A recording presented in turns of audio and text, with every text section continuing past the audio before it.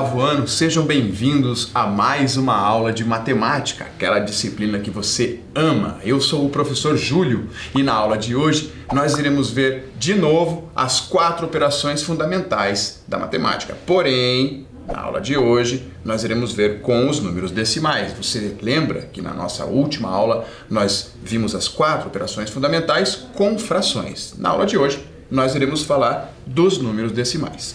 E você vai precisar daquele material tradicional, né? Caderno ou uma folha para anotação, lápis e borracha. E se tiver aquela calculadora, você já percebeu que ela ajuda em muitas situações.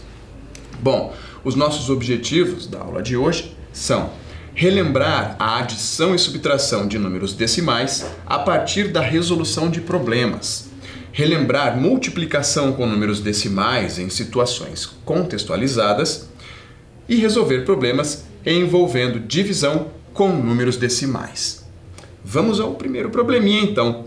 Marina foi ao mercado e comprou um pacote de 1 kg de arroz pelo preço de R$ 4,89 e um pacote de 1 kg de feijão por R$ 9,18 ela pagou o valor total com uma cédula de 20 reais. Quanto deve ser o troco recebido por Marina? Eu vou dar um tempinho para você pensar e responder e já já a gente volta para corrigir.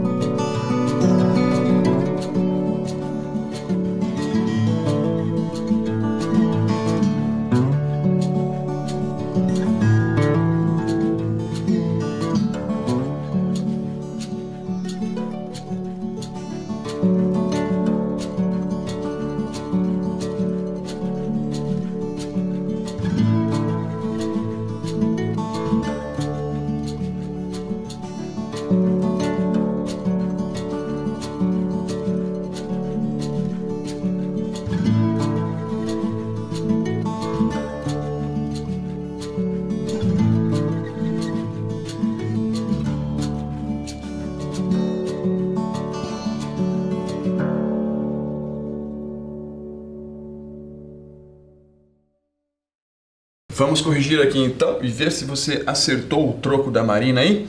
Bom, primeiro eu vou escrever aqui os meus valores, né? O preço do arroz e o preço do feijão naquele nosso naquele nosso quadro tradicional aqui, separando por ordens, onde cada coluna representa uma ordem. Aqui nós temos a ordem das unidades, vírgula, aí temos os décimos e os centésimos. Então eu tenho quatro unidades, 8 décimos, 9 centésimos, né, em, em R$ 4,89. Coloquei aqui 4,89 na primeira linha e 9,18 na segunda linha, R$ 9,02. E vou somar.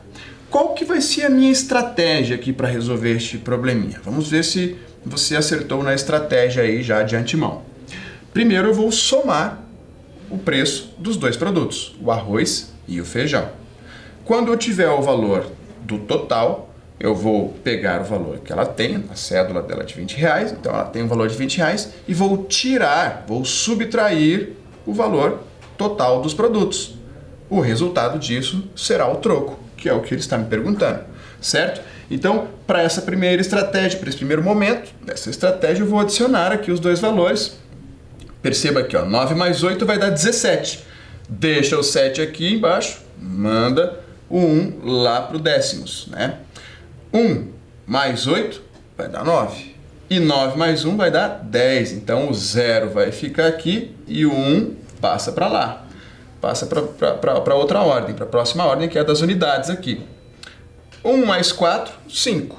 5 mais 9, 14. 14,07 é o que ela gastou, R$ 14,07 é o que ela é o valor total aí do arroz mais o feijão. E ela tem 20 reais. Agora eu vou escrever novamente aqui aquele meu quadro. Perceba como tem uma ordem a mais aqui, né? A ordem das dezenas, porque agora eu tenho 20 reais e tenho 14 reais. Então eu vou pegar os 20 reais menos os 14 reais e 7 centavos, que foi o valor total ali. Agora, perceba que na hora de fazer a subtração, vamos lembrar que sempre você tem que fazer o de cima menos o de baixo certo? E vai escrever assim, o maior número menos o menor. Mas pode ser que em algum momento ali o de cima menos o de baixo aqui seja menor. E aí não dá para resolver aqui, né? Aí nós vamos fazer o quê? Vamos pegar ali um valor da ordem ao lado. Mas também é zero. Então eu vou pegar da outra aqui. Ah, mas também é zero. Vai ter que ser da ordem das dezenas. Então eu vou pegar um valor daqui e vou jogar um valor aqui para a ordem das unidades. Como eu tenho uma dezena, uma dezena transformando aqui em unidades, eu vou ter 10 unidades, certo? Como eu tirei daqui uma dezena, sobrou uma. Eu tinha duas, né? Sobrou uma. Agora eu vou pegar um valor desse aqui das unidades e vou mandar aqui para o lado. É, vou tirar um daqui vai ficar 9. Só que uma unidade são 10 décimos. Então, peguei uma unidade, mandei para cá, virou. Agora eu tenho 10 décimos. Agora eu vou pegar um décimo e vou colocar para a ordem ao lado aqui, né? Vou ficar com 10 centésimos. Então vou tirar um daqui, vou ficar com 9 décimos e agora eu tenho 10 centésimos. Agora eu posso fazer essa continha aqui, ó, esta operação de subtração. 10 menos 7 vai dar 3 centésimos. 9 menos 0 fica 9. 9 menos 4 aqui vai dar 5. E 1 menos 1, 0. 5 reais e 93 centavos. Este vai ser o troco que a Marina vai ter que receber. Agora você tem que praticar isso aqui até fazer essa operação mentalmente, de cabeça, porque quando você vai ali no mercado, né, você já tem que receber, saber quando que vai ser o troco, sem precisar demorar, tirar a calculadora do bolso, pegar o celular, entrar nas ferramentas, enfim. Joia? Vamos lá, o próximo probleminha. Janaína foi ao mercado para comprar um quilo de carne moída, que estava custando R$ 24,89. Um pacote de macarrão ao preço de R$ 3,59 e um molho de tomate por R$ 2,47. Para comprar esses itens, ela tinha 30 reais. Essa quantia foi o suficiente ou faltou dinheiro? Eu vou dar um tempinho para você pensar, já já a gente volta com a resposta.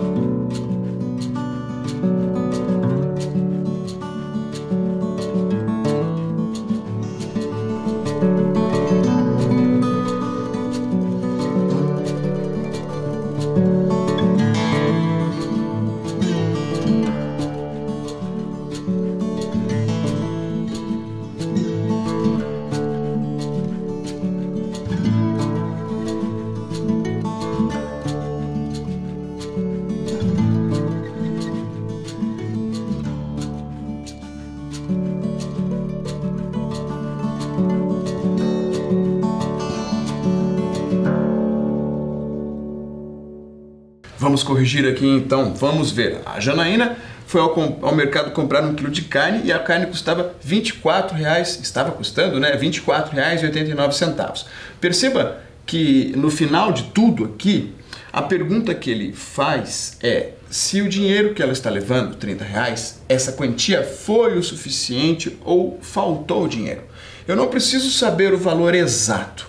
Então, este probleminha aqui, que é inclusive um problema comum, né? Eu já aconteceu comigo, talvez tenha acontecido com você também, de você ir com uma quantia no mercado, precisa comprar determinados produtos e aí você tem que meio que fazer aquela conta ali de cabeça, né, mentalmente, para ver se o dinheiro que você tem vai dar para pagar a conta, o total de produtos. E para fazer isso, a gente geralmente recorre ao arredondamento. Né? A gente arredonda aqueles valores. Então, o R$ 24,89 do quilo da carne aqui, é, eu vou arredondar para 25. Vou arredondar para 25 porque está perto, né? R$ 24,89 está perto de 25 reais. O preço do macarrão, que é R$ 3,59, eu vou arredondar para R$ 3,50. Também está próximo, né? Mais próximo ali seria R$ 3,50. E o 2,47 vou arredondar para 2,50. Então vou escrever aqui 25, né? O 3,59 vou arredondar para 3,50 e 2,47 para 2,50. Perceba que essa conta você poderia fazê-la mentalmente. 25 mais 3 dá 28. 28 mais 2 aqui vai dar 30. É? 25 mais 3, 28 mais 2, 30.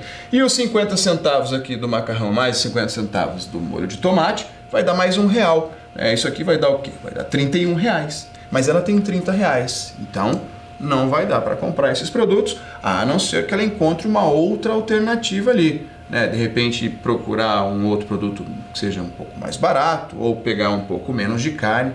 Enfim, é uma decisão que ela vai ter que tomar. Vamos ao próximo problema. Olha só, qual é a área de um retângulo cuja largura mede 23,32 metros e o comprimento mede 52,25 metros? Você lembra né, de, outras, de outras aulas anteriores, vou até colocar um retângulo aqui para facilitar a sua vida, que a área de um retângulo é o comprimento vezes a largura, certo? Então eu vou dar um tempinho para você resolver esse daí e daqui a pouco a gente volta para corrigir.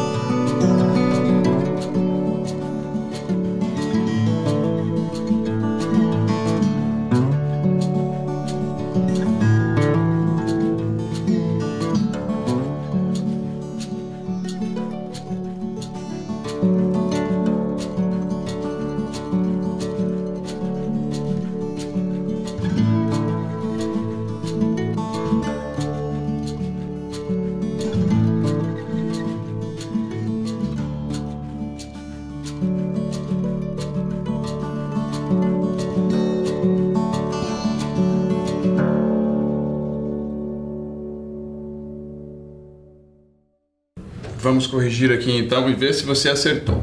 Para calcular esta área, eu coloquei aqui as medidas do comprimento e da largura, né, o 52,25, e eu vou anotar aqui para a gente fazer juntos.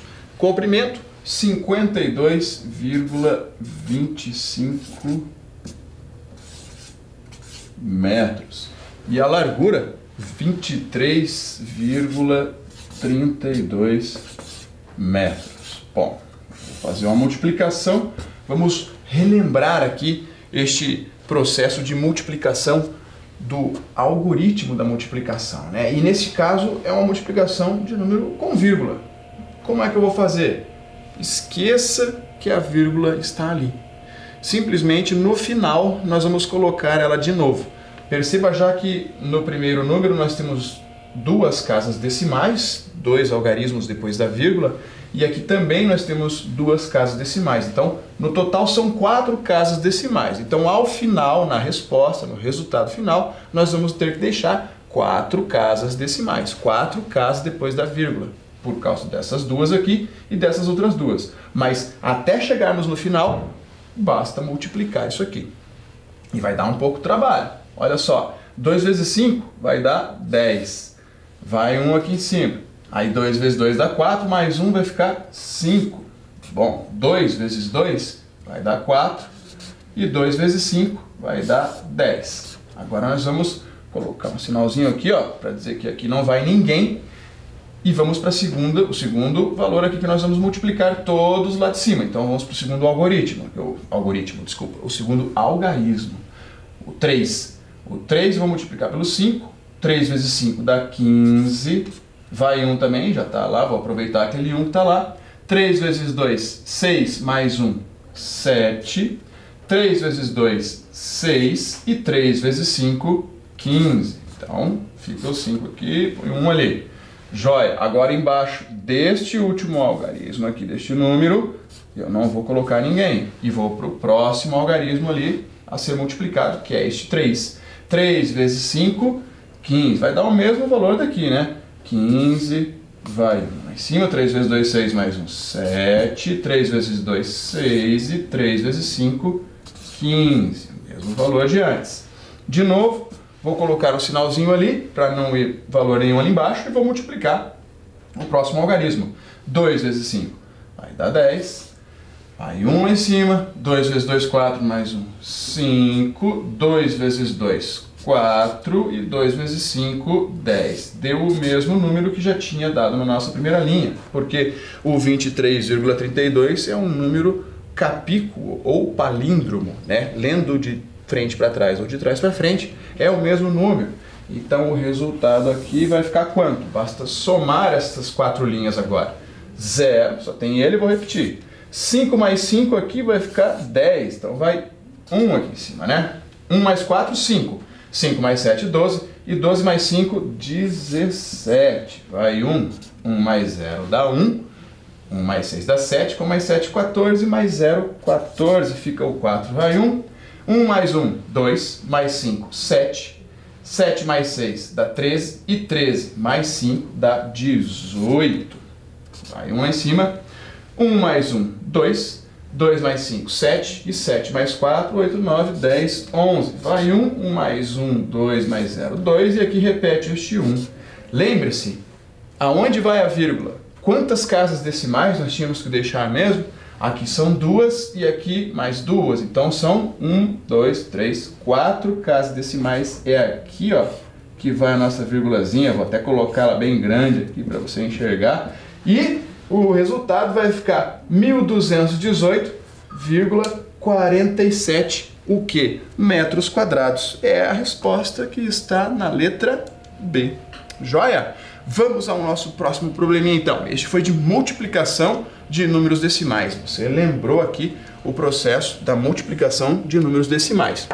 Agora, vamos a este. A Bia gastou 2,8 metros para fazer um vestido e 1,4 metro do mesmo tecido para fazer uma blusa.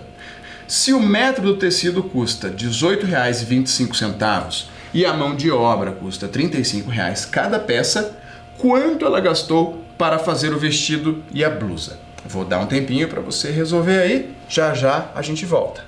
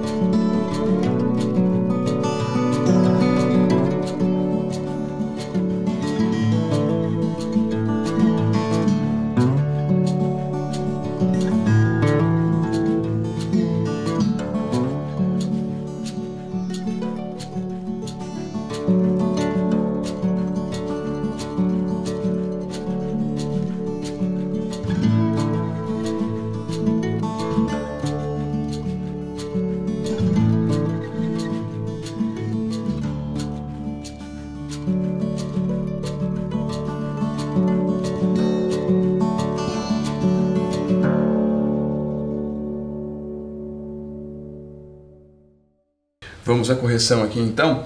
Vamos lá, a Bia gastou 2,8 metros para fazer o vestido e 1,4 metros para fazer a blusa. Eu vou ter que somar essas duas quantias, né? Por quê? Na nossa estratégia para resolver aqui, ele está perguntando quanto foi gasto, o valor gasto em dinheiro na compra ali, né? Para mandar fazer o vestido e a blusa. Então eu vou precisar saber quantos metros de tecido foram utilizados para fazer o vestido e a blusa. Então eu vou somar o 2,8 com 1,4.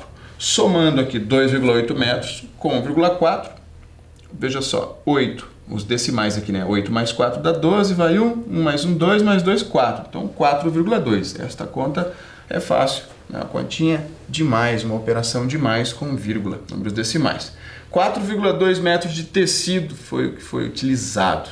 Agora, para fazer é, é, o valor gasto do tecido. Eu vou ter que multiplicar o preço de um metro do tecido, que é R$ 18,25, por 4,2 metros de tecido, que é o que foi usado de tecido. Vai dar R$ 76,65. Isso foi o valor que ela pagou ali nessa quantidade de tecido. Como foi feita essa conta? Vamos fazer aqui, ó do mesmo jeito que nós fizemos o anterior, né? o exercício anterior, o problema anterior. R$ 18,25. Eu vou escrever aqui e multiplicado por 4,2. Perceba que a vírgula não está embaixo da vírgula aqui, né? Porque eu não preciso disso.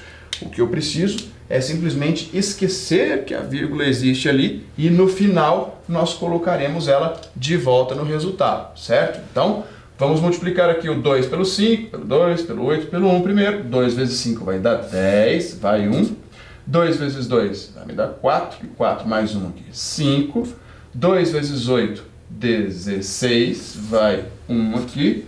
E 2 vezes 1, 2, mais 1, 3. Beleza, agora aqui não vai ninguém. Vamos partir para o próximo, que é o 4. 4 vezes 5, 20. Fica o 0, 2 lá em cima. 4 vezes 2, 8 mais aquele 2 lá, vai dar 10. Vai 1 aqui em cima. 4 vezes 8 dá 32, mais 1, 33. Vai 3 aqui, eu vou somar depois.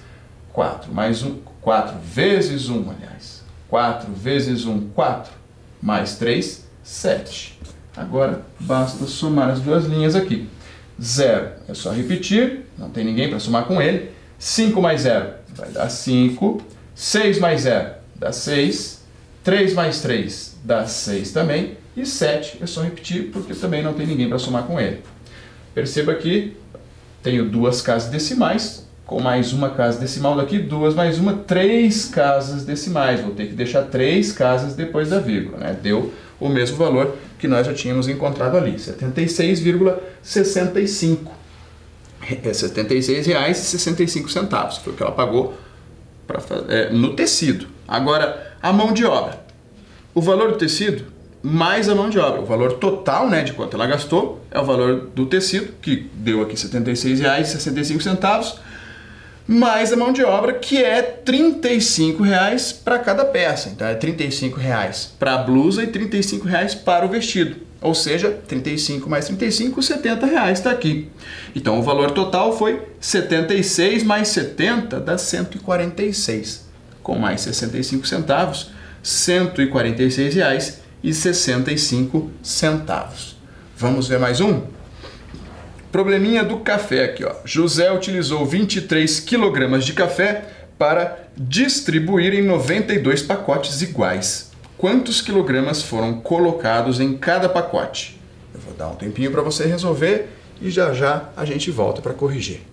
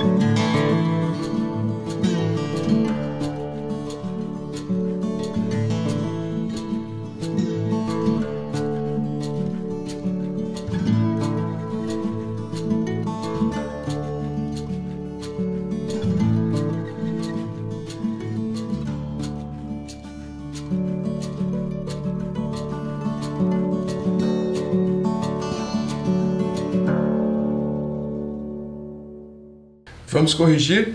O que você precisa fazer aqui é dividir os 23 quilogramas de café em 92 pacotes. Né? Nós vamos. É, ele pediu para.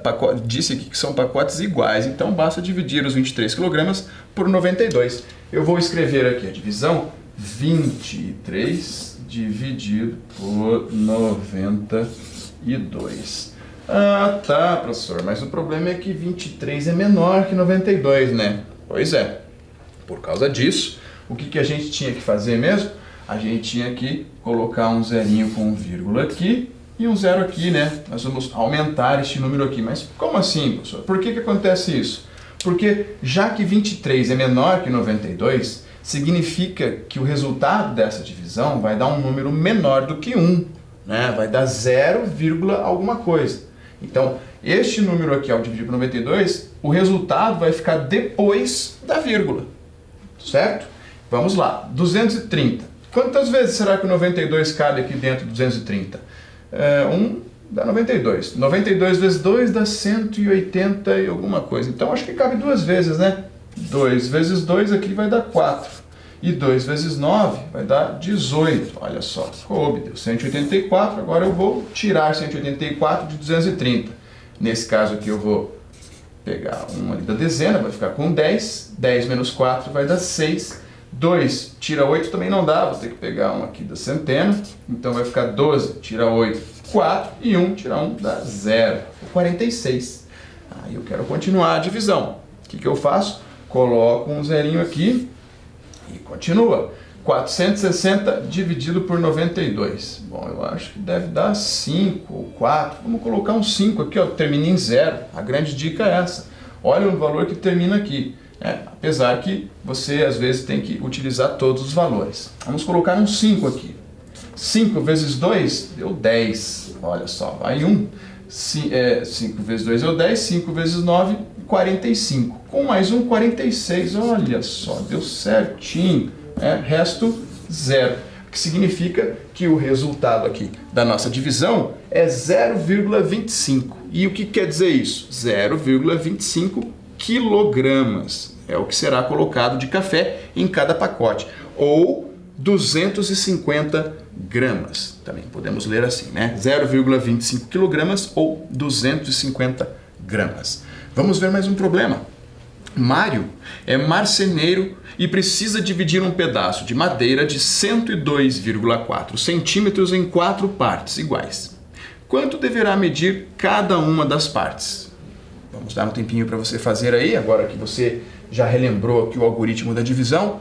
Tenta resolver aí, daqui a pouco a gente volta para corrigir.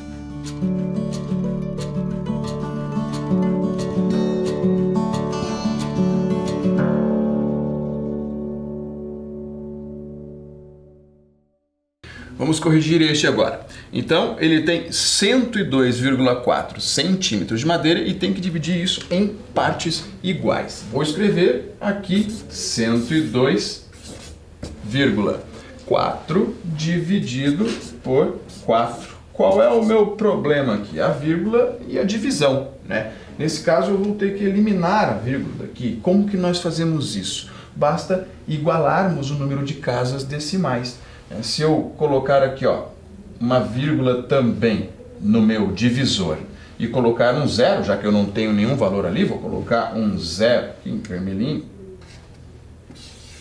Pronto, agora eu tenho uma casa decimal aqui no divisor e uma casa decimal no meu dividendo. Né? Eu tenho é, um algarismo depois da vírgula aqui e aqui. Quando você faz isso, você pode eliminar a vírgula aqui. Ó. Posso fingir que a vírgula não está mais ali. Vou até reescrever um número aqui. Ó. 1024 dividido por 40.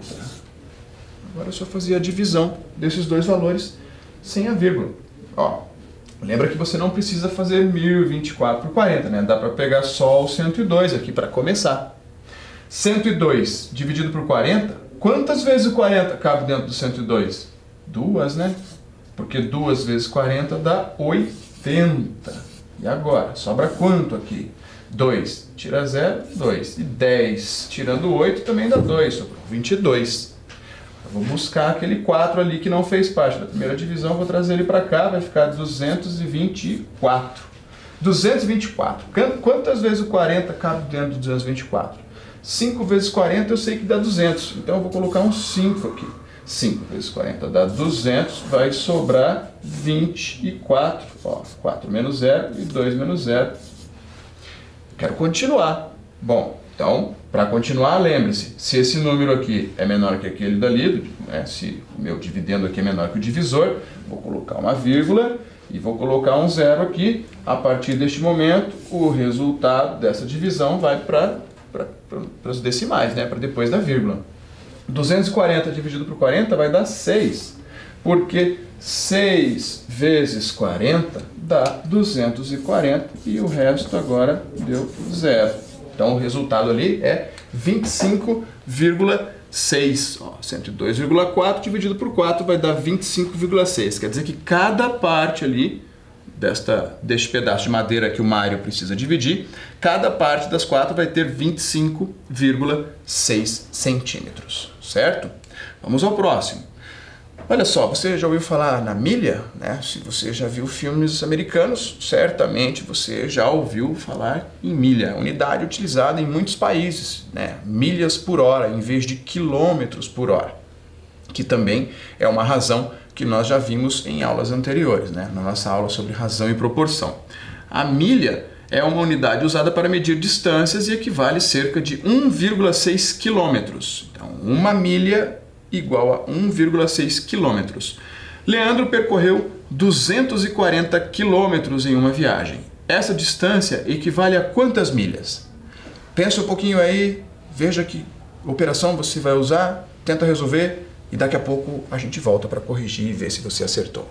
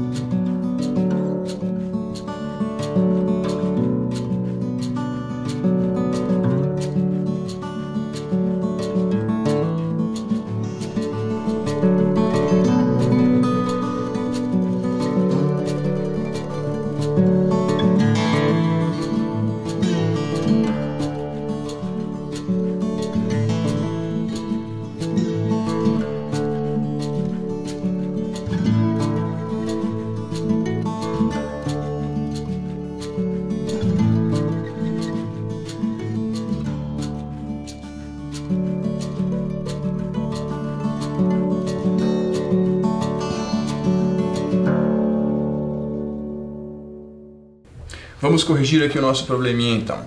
Olha só a pergunta que ele fez. A distância equivale a quantas milhas? Essa distância aqui que ele percorreu, 240 quilômetros, equivale a quantas milhas? Bom, Qual é a operação que eu vou ter que resolver? Vou ter que resolver uma operação de divisão, né? Vamos dividir aqui o 240 por 1,6, que é o quanto equivale uma milha. Aí nós vamos descobrir quantas milhas ele andou. Então, vou dividir 240 por 1,6.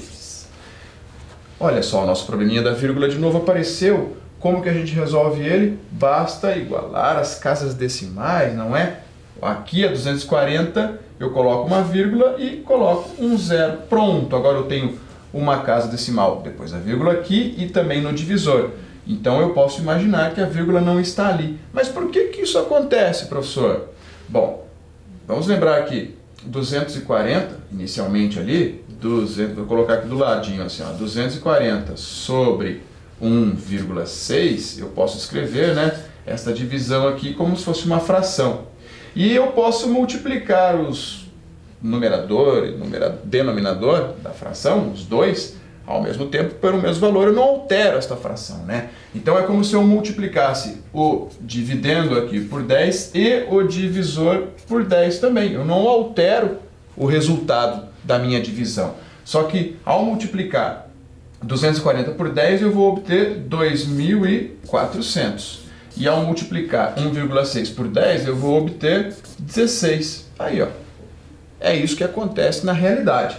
Então, eu posso pegar aqui só o 24, dividir por 16, vai dar 1. 1 vezes 16 dá 16. 24 menos 16 vai sobrar 8. Agora eu vou baixar esse de zero, vai ficar com 80. 80 dividido por 16 vai dar 5, porque 5 vezes 6 é 30, daí vai 3, e 5 vezes 1 dá 5, com mais 3 dá 8. Ó, certinho.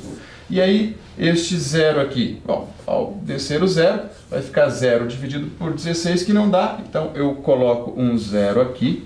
Lembre-se, quando você tem um valor aqui que você acabou de descer e vai dividir ele, e não dá para dividir porque ele é menor, nós colocamos um zero aqui e acabou a divisão, se for o resto zero. Se não tivesse o resto zero, aí eu colocaria aquela vírgula e adicionaria mais um zero ali. Mas não é o caso. Nesse caso, o resto deu zero. O resultado vai ser de 150 milhas. Quer dizer que 240 quilômetros equivale a 150 milhas. Joia?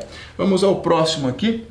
Ao passar no caixa de um supermercado, ao passar no caixa de um supermercado, o Antônio paga R$ 14,70 por um pacote de maçã cuja massa é de 4,2 kg. Quanto custa cada quilograma dessa maçã? Eu vou dar um tempinho para você pensar e resolver esse e daqui a pouco a gente volta.